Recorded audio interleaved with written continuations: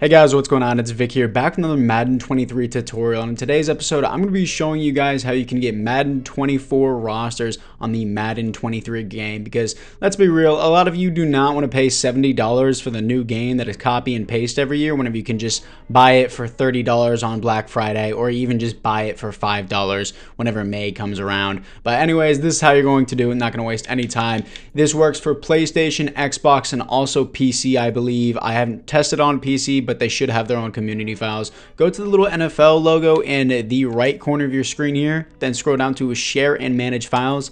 Click on that. I'm currently on the Xbox Next Gen is what I'm doing this on, but then you want to click on download community files.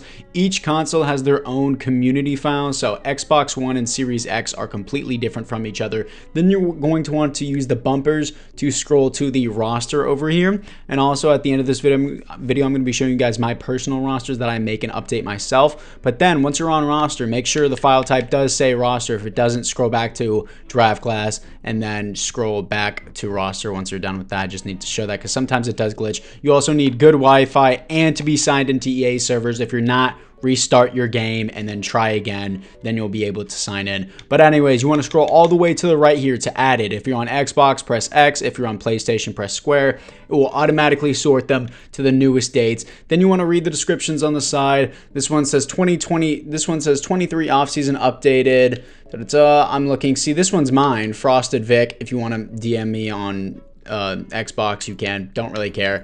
Uh, 15,000 downloads on that. This one, it says updated signings, trades, transaction, every first round pick added.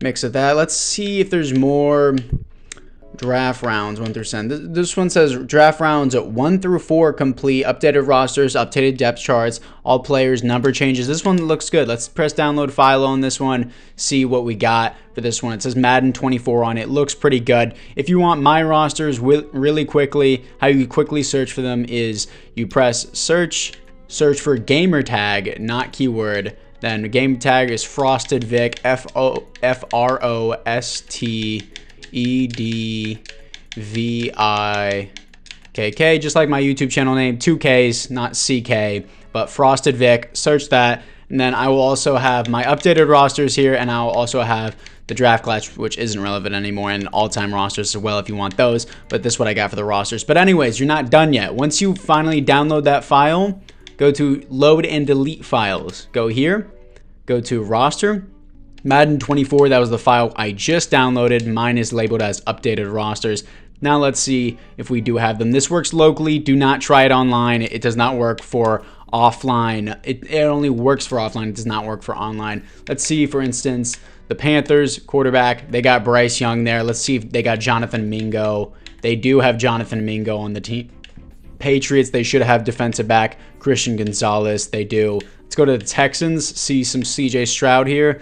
They also got Will Anderson. Where is he at? Left end, left end, Will Anderson. And they also have quarterback CJ Stroud. But also, if you guys are wondering if this works for franchise, it does. This will show up locally in Exhibition, but not a head to head unless you're playing with your friends. And I think they both have the same file. I've never tried it though. Don't quote me on that. So I'm going to go into franchise and see if this works as well. Go to create a new league and use active roster offline. Do not use the online rosters. Do not use those. Do not use the preseason roster. Use offline active roster. That is the key one that you need to use. It will import the roster, and then you should be pretty good from there. Let's use the Steelers. Sure, the Steelers got Joey Porter and Broderick Jones. So I'm going to go in league settings, and I'm actually just going to turn off tips because they just annoy me. So we're going to go in here, see what we got for the team, and it will show you. Of course, they will not have development traits because you have to do create a player, and you cannot change development traits until you're in the roster. So, for instance, they got Broderick Jones here. And if you want to change the development, you can go, hey, I think Broderick Jones is more of a superstar player. So you simply scroll over and then give them superstar. And then also, some of their contracts are only three years because you can't change them. They would be a five year deal since he's a first round pick. So now you have him there. Defensively, you're going to have Joey Porter Jr. here. You can change him as well. But anyways, guys, apart from that, let me know which uh, tutorial you want me to do next. That will be all for now. And apart from that, guys, I'll see you guys all in the next one.